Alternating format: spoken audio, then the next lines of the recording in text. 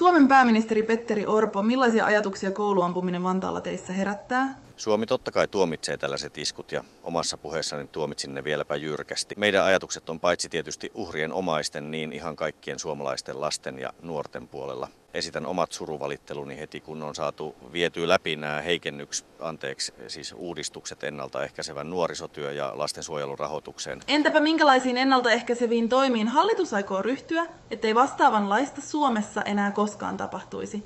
Kyllä me aiotaan nyt selkeästi kiristää turvatoimia kouluilla, lisätä valvontaa sekä kuormittaa opettajat tai no, lisätä työmäärää muun muassa tarkistuttamalla kaikkien koululaisten reput ennen luokkaan astumista. Ja tämän lisäksi aiomme toki pitää entistä enemmän juhlapuheita, joissa toteamme lasten ja nuorten olevan ajatuksissamme. Niin, hallitushan aikoo nostaa aseiden hankkimiseen tarkoitettua verotukea sekä vastaavasti nostaa kirjojen arvonlisäveroa merkittävästi tehden kirjojen hankkimisesta entistä kalliimpaa ja aseiden hankkimisesta halvempaa. Eikö näin?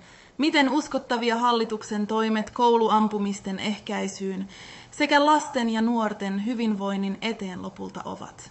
Nämä ovat on totta kai aina vaikeita, kipeitä päätöksiä. On mun mielestäni kuitenkin kaikkien lasten ja nuorten etu se, ettei velkoja jätetä heidän maksettavakseen. Mutta velkaa kuitenkin otettiin lisää enemmän kuin mitä edellinen hallitus teki, ja 14 000 euron tuloluokassa suurimpia hyötyjiä velkarahalla ostetuista veroalennuksista ovat muun muassa hallituksen ministerit. Eikö totta? Mä toivoisin nyt kovasti, että tällaisilla asioilla ei politikoitaisi nyt näin surun keskellä. Suomi julistettiin juuri maailman onnellisimmaksi maaksi ja itse ainakin haluan uskoa, että lasten ja nuorten hyvinvointi paranee leikkaamalla anteeksi, uudistamalla sosiaaliturvaa myös opiskelijoiden ja osa-aikatyötä tekevien joukossa.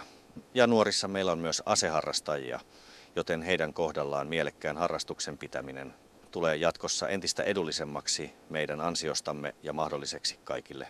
Teillä on hallituksessanne myös valtiovarainministeri, joka kaksi päivää Kauhajoen kouluampumisen jälkeen 2008 totesi, että jos hänelle annettaisiin aseen, niin ruumiita tulisi ihan lähijunissakin.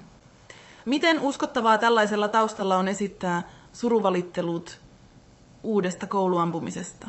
Niin, pitää myös muistaa se, että Riikka oli silloin yksi näistä meidän pahoinvoivista nuorista, jotka sitten ovat päässeet elämässään eteenpäin. Ja... Riikka Purra oli tuolloin 31-vuotias.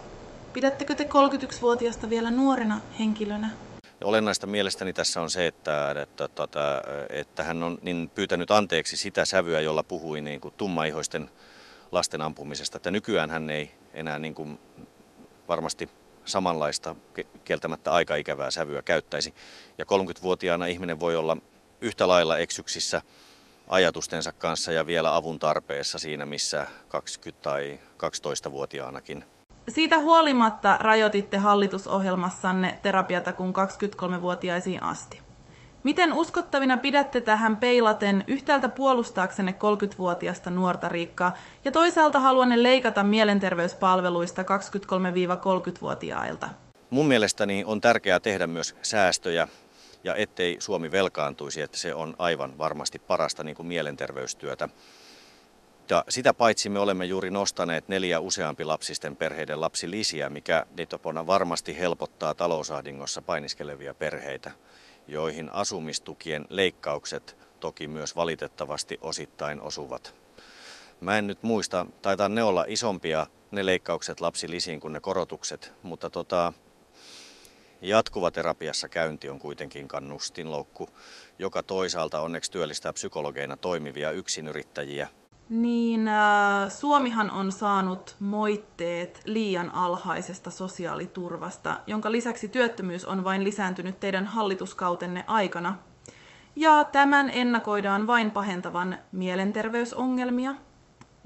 Lisäksi uudet ensi vuoden alussa voimaan tulevat leikkaukset tiputtavat lisää suomalaisia toimeentulotuelle – Miten kauan uskotte, että suomalaiset luottavat siihen, että oikeistohallitus parantaa Suomen talous- ja työllisyystilanteen ja että te olisitte aidosti suomalaisten asialla? Niin kauan kun toimittajat on peloteltu perussuomalaisten toimesta hiljaisiksi ja kokoomuksen omistaman median osalta maksettu hiljaisiksi, jotta te ette ikinä esittäisi meille sellaisia kysymyksiä, joita juuri tässä haastattelussa äsken esititte. Kiitos haastattelusta, herra pääministeri.